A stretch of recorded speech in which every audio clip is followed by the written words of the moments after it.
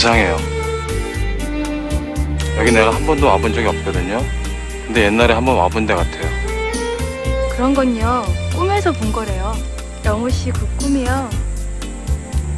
좋은 꿈이었으면 좋겠어요.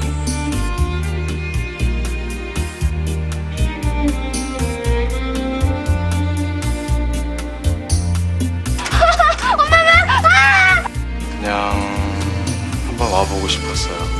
그 여자가 사는 곳이니까. 네가 그렇게 대단해! 정말 삶이 아름답다고 생각하니? 울지 말아요. 네? 울지 말아요. 구경하고 갈래? 그냥 갈래?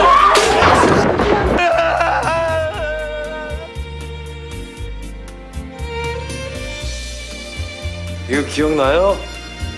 같아. 그 여자가 이제 와서 왜 날 찾아? 비!